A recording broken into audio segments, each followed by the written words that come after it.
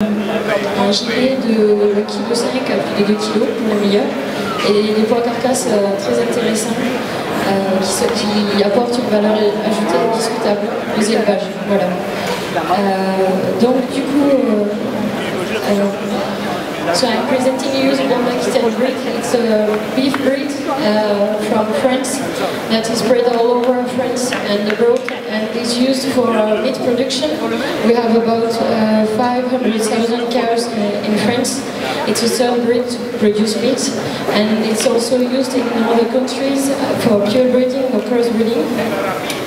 Uh, it's uh, an interesting breed for meat production with uh, easy calving, uh, good growth for calves, and also during fattening period with heavy carcass and slaughtering and uh, high meat yield. Uh, la blonde de Aquitania es una raza especializada para producción de carne, es la tercera raza en Francia. Eh, se destaca por sus calidades de producción de carne con facilidad de parto primero al nacimiento y luego altas tasas de crecimiento de los terneros bajo la madre. Y altas ganancias de pesos eh, durante la fase cuando maman y durante la fase de engorde.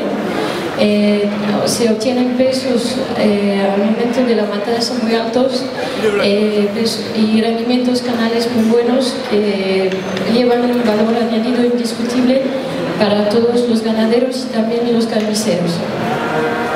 Christelle, nous avons une délégation russe importante. Est-ce que tu pourrais leur dire quelques mots russes Non.